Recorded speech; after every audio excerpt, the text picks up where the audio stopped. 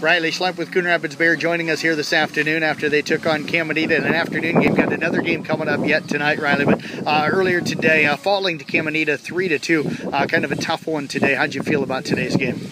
Uh, I felt better than normal. I felt like my fielding was uh, pretty good, and batting I've been doing better than I have normally. Let's talk about your fielding here today. Had a really nice catch uh, on a line drive. Kind of followed that up with a nice stop up the middle and through the corral out at at, uh, first base. Uh, what what did you think was the strength of your defense today? Um, mine in general or the team? Yours in general. Uh, well, I feel like I've been throwing a lot better, like yesterday and today, than I have been. I've actually been getting in there instead of having Danny having to scoop it, so that's an improvement. And then it was a lot easier today, I guess, to like move side to side than it has been. I I don't know if it's because I'm like more used to it, like, and I'm getting in the groove of it now than the beginning. But Did you fix something with your throws? You and I kind of talked about that here a few weeks ago. And uh, what, what do you think's made you a little more comfortable? Um, well, it might have helped that we had a whole week off, and so it like kind of took a break off. And then um, I don't know.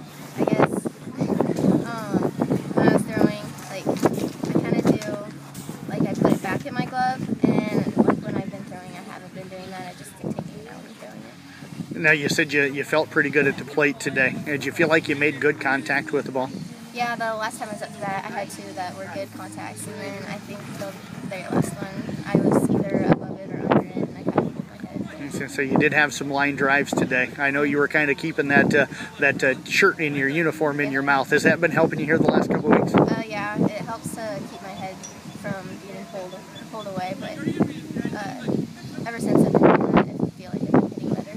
Rylie, now you got to play uh, Boyer Valley uh, yet here tonight at home. Uh, what do you got to do to kind of get this game out of your mind and get ready for that next one tonight? Uh, just kind of relax, I guess, and like when game time comes, just kind of forget about what's happening this morning, and then uh, just kind of go from there. Well, Rylie, appreciate you joining us here. Best of luck coming up tonight. Thank you.